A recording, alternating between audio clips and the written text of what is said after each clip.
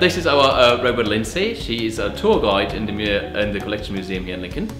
And the idea of this project is that visitors can come in and be given tours by the robot.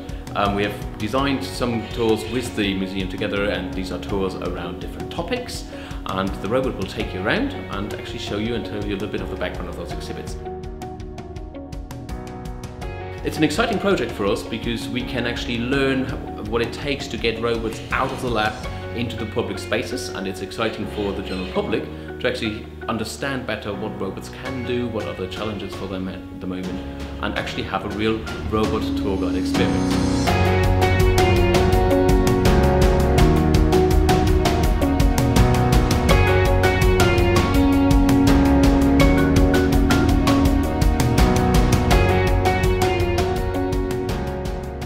The goal of this project is to have the robot uh, engaging with people in the museum and showing them around and showing what's in the exhibits and uh, explaining everything that is there.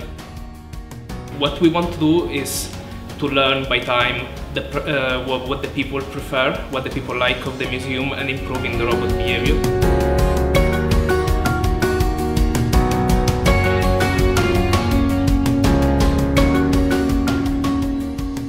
Lindsey is now the, the outcome of uh, many, many years of development in the Center for Autonomous Systems here at the University of Lincoln.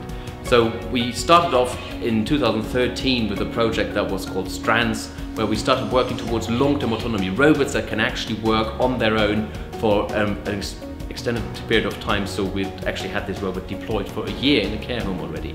So the main problems when you take robots out of the lab into the wild is that these environments change. So these robots all have to deal with change. There's people around, there are objects being moved around, and normally when you see industrial robots, that's quite easy for them because there you have a very rigid, very static environment, while when you take robots out into labs and public spaces, you have to deal with all sorts of dynamics.